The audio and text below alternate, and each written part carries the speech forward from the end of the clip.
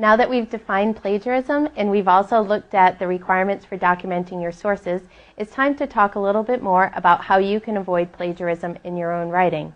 The first tip that I would give to you is to be really careful in the note-taking phase of your project. When you're taking notes on your sources, try to avoid writing down quotes or inappropriate paraphrases without making any specific notations in your writing.